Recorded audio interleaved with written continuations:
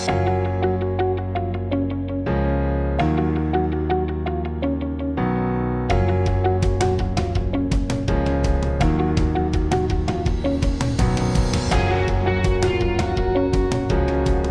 we really want to tackle the climate crisis, we have to tackle it together and we need to make sure that politicians do have the will to do that.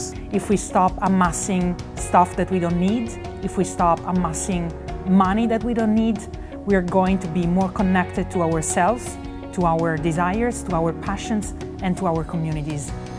The transition towards a sustainable future is not about less comfort, it is about more connections. And so I invite you to get out of your car and try a different means of transportation. Je vous adresse ce message aujourd'hui pour vous dire combien il est important qu'on s'engage pour l'action climatique.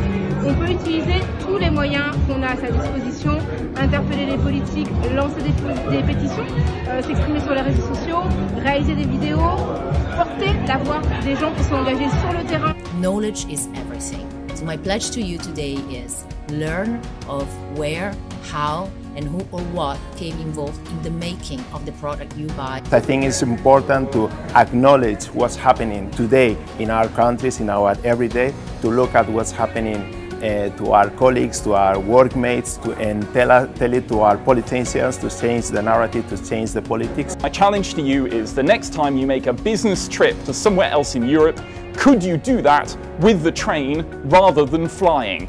Are you going to join us and eat differently for the planet?